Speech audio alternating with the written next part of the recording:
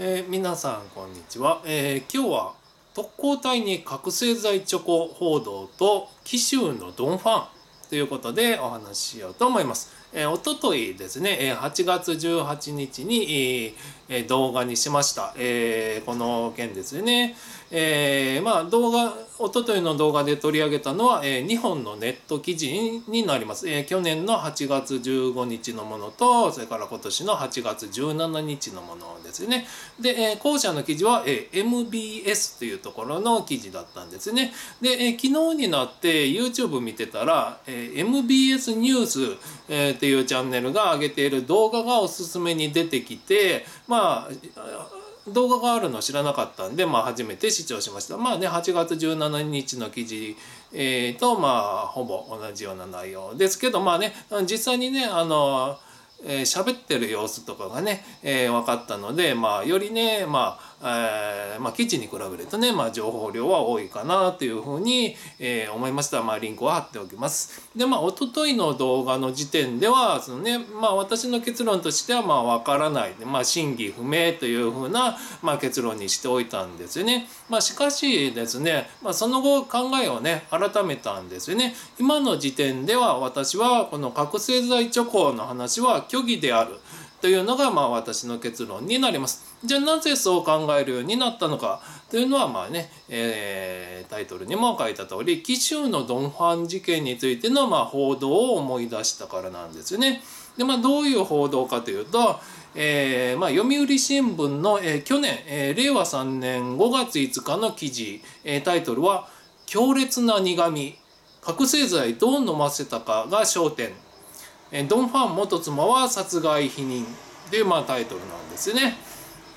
でまあそのちょっとおさらいのためにこのね記事の冒頭の部分を引用させていただきます、えー、和歌山県田辺市の資産家で紀州のドン・ファンと呼ばれた会社経営者野崎康介さん当時77歳が急性覚醒剤中毒で殺害された事件で、えー、殺人などの容疑で逮捕された元妻の須藤咲容疑者25がえ県警の調べに容疑を否認していることが関係者への取材で分かった。あで、え元妻の逮捕から5日で、え1週間直接証拠に、え乏しい中県警がどうやって殺意を立証するのか注目が集まるっていうねまあこういう状況でで、まあ、この記事に、えどういうことが書いてあるか。えー、佐藤義信京林大名誉教授法医学閉じるによると覚醒剤を食事や飲料に混ぜて直接口に含ませた場合強烈な苦みで飲み込むのは困難といいカプセルなどを使った可能性はあるサプリメントと言って渡せば警戒心は薄れるだろうと指摘するという、まあ、部分があるんですね。まあ、これによるとですね覚醒剤には強烈な苦みがある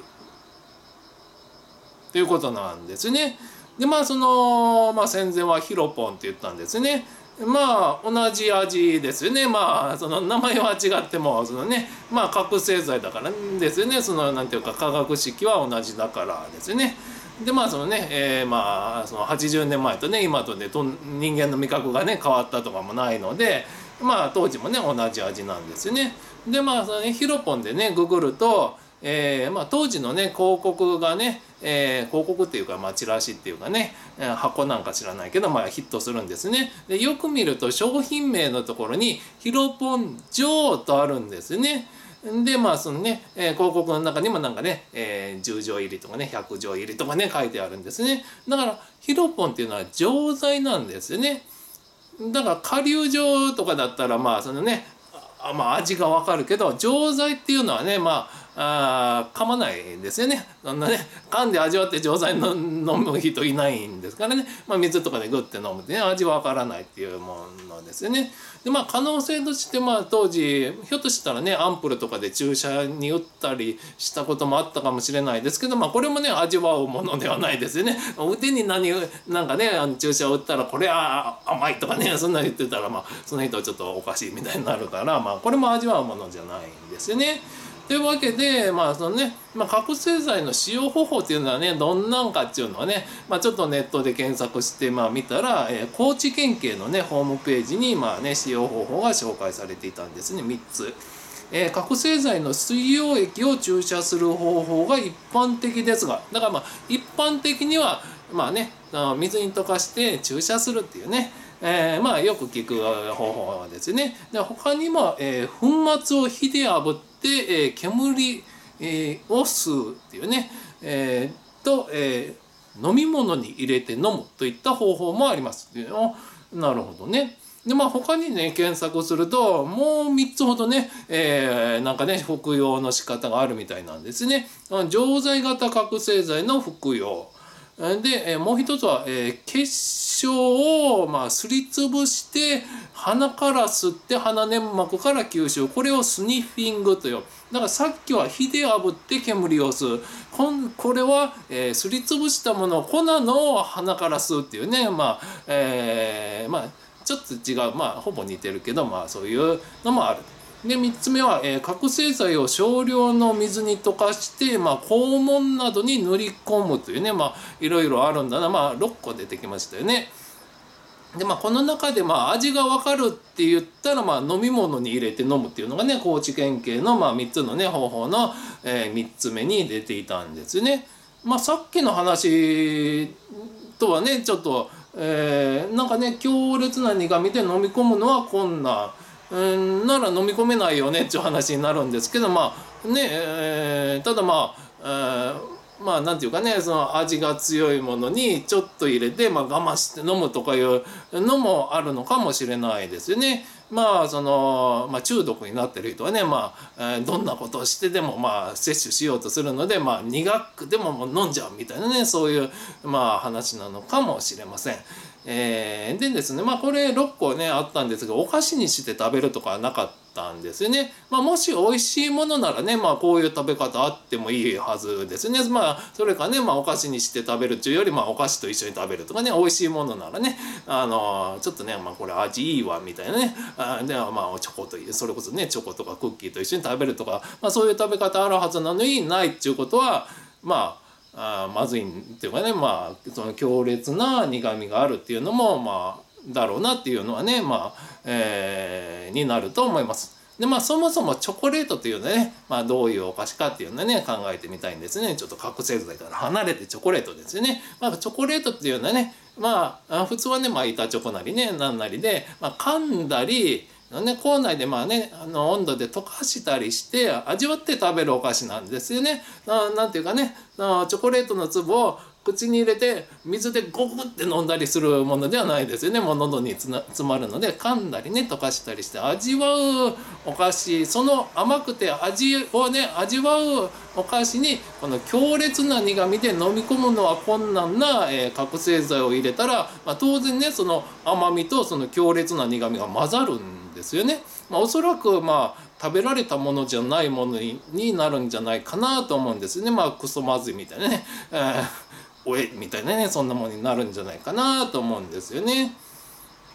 でまあここでまあ思い出したいのが、えー、まあねえー、これを、まあ、その報道のもとになってる調査をした、えー、元中学教員の大岡文義が話を聞いた、えー、大阪府高槻市在住の梅田和子さんという方ですよね。の話ですよねこの梅田市の話にチョコの味の話は出てこないことなんですよね報道の範囲では。でまあそのね食べるとカッと体が熱くなったっていう点ではまあ一貫してる様子なんですね動画のサムネにもなんかね食べたらカーッときましたってまあね非常に強調されてるって。でもし覚醒剤入りだったらそのね強烈な苦みを感じてえー、それの話が出るはずなんですね。その話がないということは味は普通のチョコレートだったと推測できると思うんですね。ということは覚醒剤入りと矛盾するとまあ私は考えます。でまあそのね、もっと言えば当時はですねヒロポンは合法で普通に売っていたんですよね。じゃあ特攻隊に出撃前にヒロポンを服用させたいならえー、ヒロポン錠を飲ませたらいいだけなんですよね。わざわざチョコレートに入れる必要はないですよね。その命がけもう命を懸けてね、えー、敵に突っ込む、えー、特攻隊員にもしねチョコレートを支給するという話ならそりゃ美味しいものをね、え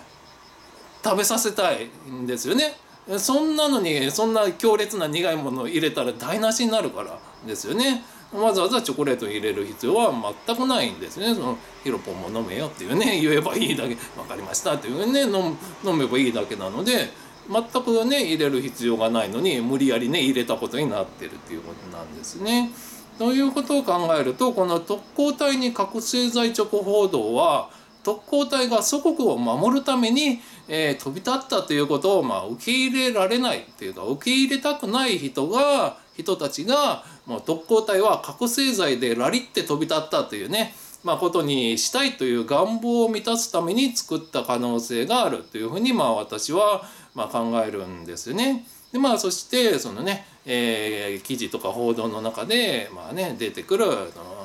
その覚醒剤チョコにのまあその放送紙にまあ菊のね御紋が、えー、ついていたっていうねまあそのね菊の御紋が入っていたとなると皇室と覚醒剤を結びつけられるんですよね。でまあその去年のね8月15日の記事のタイトルに「下道の証拠」ってあったのが、まあ、この報道の性質をよく表しているんじゃないかと思うんですね。だからまあ戦前の日本が、えー、とりわけ皇室が下道だというふうに言いたいのではないかというふうにまあ私は感じます。でまあその、まあ、日教祖っていうのはね、まあ、そういうまあそっち系のね歴史観に立ってるんですよね。でまあそういう歴史観は、まあ、いわゆる東京裁判士官っていうのとまあその馴染みがいいんですよね。でまあその私がですね過去の動画でまあ、えー、上げております、えー、東京裁判のからくり田中隆吉証人の偽証っていうまあ、えー、のがありますのでまあそちらでね、まあ、東京裁判の判決がまあ偽証に基づくものだったっていうことはまあ、えー、動画にしておりますのでまあ是非ね、えー、そちらも見ていただきたいと思います。もしね大岡先生に見ていた、えー、にもね、えー、まあ100回ぐらい見ていただきたいなとは思うんですけどまあねこんなまあねえー、東京裁判の判決を信じてるというのも、まあ、一種のカルトだなというふうに思います。でまあこのですね、えー、ただですねこの大岡文雄氏梅田和子氏でまあそのね、去年8月15日の記事を書かれた、えー、共同通信の、えー、真下修士真下修士かな、えー、このまあ3名の方はですね、まあ、いずれもまあ意図的に嘘を言っているとまでは思わないんですね。まあ、真実と信じられていると思うんですね。まあ、しかしですね人間は論理的一貫性がある生き物なんですね。だから心の中に持っている歴史観に沿ってそれ物事を見る。だから当然その歴史観に沿った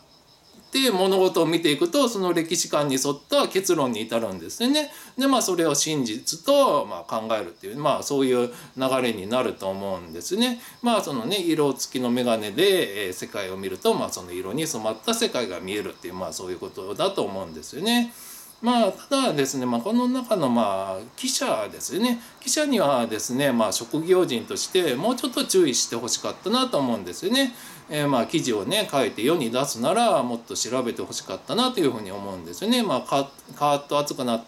たから覚醒剤とかね、まあ、そこら辺もね本当なのかなとか、まあ、考えてほしかったと思います。でまあそのね、えー、さっき言った、えー、ドン・ファンについてのえー、読売新聞の記事は去年の5月5日なんですよね。でその、えー、去年の真下記者の記事の日付は8月15日まあ3か月前にね、えー、3か月ちょい前にまあこういうね、えー、覚醒剤は強烈な苦みとかいうね、まあ、記事も出てるんですよね。広い視野で社会を見てさまざまな報道を注意深く読んでいればそのね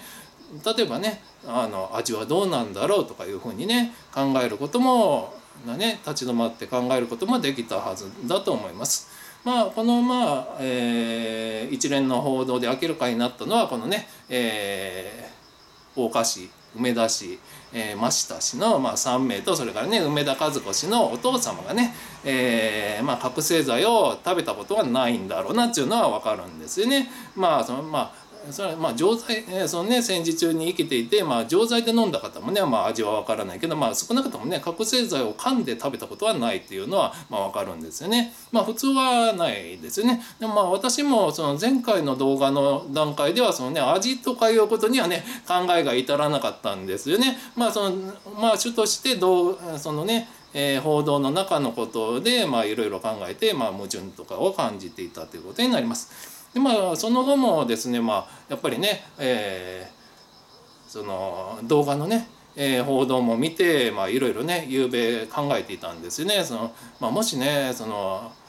えー、まあね、えー、覚醒剤っていうのがねその食べたらカーッと熱くもの